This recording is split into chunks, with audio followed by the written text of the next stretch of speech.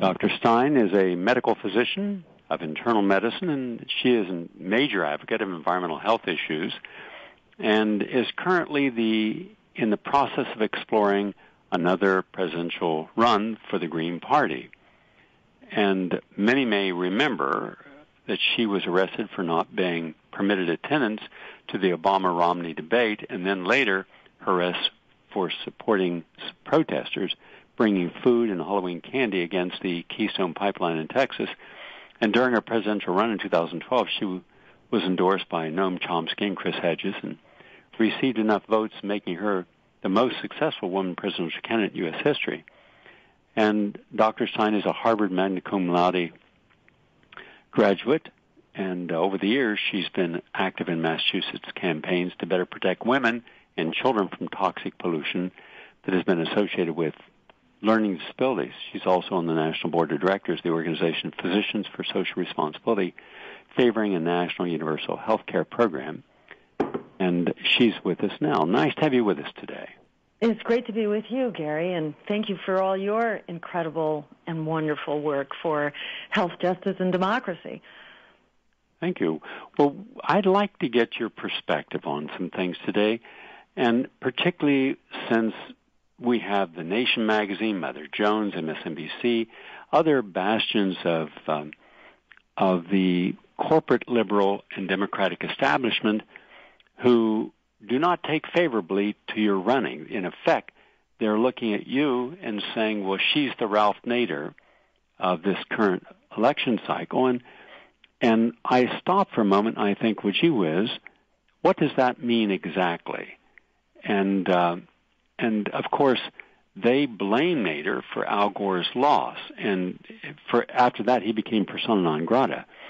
And uh, he just couldn't get himself into any of the discussions and I I want to deal with them not allowing third candidate candidate parties onto the forums to debate with the the mainstream uh, Republican and Democratic contenders.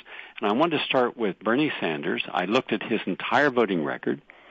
Uh, Hillary Clinton, I looked at her entire voting record. Now, though she has not affirmed that she is running at this moment, Elizabeth Warren, I looked at her entire voting record and where on some issues Bernie Sanders does come down on the environment, I think he's done a good job. And protecting Social Security, I think he's done a good job. But he is pro the Patriot Act. He is pro Israel.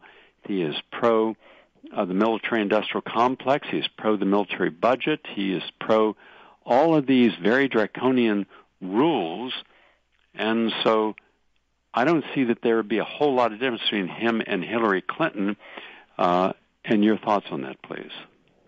Great. And you know, you, you pose a number of really important questions there. And before jumping into uh, Bernie Sanders or Elizabeth Warren's record, just a brief comment on, you know, the the response of the sort of liberal, quote liberal, you might say neoliberal um, intelligentsia, the nation, Mother Jones, et cetera, you know, I have not seen their positions on my campaign this year, uh, perhaps because we, you know, are still in this exploratory phase. But, you know, I think those who engage in sort of continued Nader bashing and the effort to silence political opposition you know, above all, I think they just label themselves as obsolete. Nobody under 30 understands what that's about, but they do understand that we are in an incredible crisis in our economy, in our ecology, in our democracy. It's a massive crisis that really demands solutions as big as the problems that are crashing down on us and to try to suppress this discussion and the responsibility of the Democrats as well as the Republicans. You know, Obama continued the policies of George Bush in so many ways, and we can get into that if if if you'd like. But this whole effort to silence that discussion about the culpability of the Democrats as a fully Wall Street sponsored party, every bit as much as the Republicans, uh, you know, that does not permit uh, real solutions to even get on the table. Witness the way they silenced the discussion of single payer, totally you know, did a bait and switch and took it off the table so they could ram through the, um, you know, Obamacare, also called Romney Care, you know, which has doubled the out-of-pocket expenses of working people in America. You know, that's the people who would silence this discussion and the responsibility of Democrats like Republicans, you know, I think just label themselves as irrelevant to the real struggles that face uh, the vast majority of Americans right now. So, you know, we could go into that discussion, but I think it only matters to people with gray hair who are sort of leading the way into the sunset right now and not leading the real uh, revolt that's taking place across America, in our communities, in our places of work, in our schools, in the street, and that revolt needs to take place in the voting booth if the other revolts are to amount to anything as well. So that just by way of an introductory comment. Um, and then, you know, in terms of uh, you know Sanders or or Warren, where would where would you like to start? Let's start with uh, Warren first. Okay. So, you know, Elizabeth Warren, number one, she's not running, and she's a team player with the Democratic Party, so she's not going to run. Uh, you know, and I think that that sort of needs to be the first order of business when talking about Elizabeth Warren, that she's not running. What she's hoping to do is move Hillary Clinton's rhetoric to the left. And if you want to believe in Hillary Clinton's rhetoric, I say more power to you.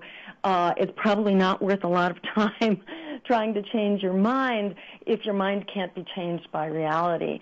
And uh, just a side comment there that, you know, it's history that really changes people's minds. Many sociologists uh, have documented how hard it is to actually change people's minds. People tend to lock in to emotional positions. But what really does change people's minds now is the course of history. And the course of history, both by way of the economy and the climate and the environment, has so made the case that, um, you know, where we are politically is very stuck. Uh, Hillary Clinton, you know, we've learned through Barack Obama through eight painful years um, going on, that you know the rhetoric and the reality really have to be looked at very differently. Fool me once, shame on you. Fool me twice, shame on me. We've been fooled a couple times with Barack Obama.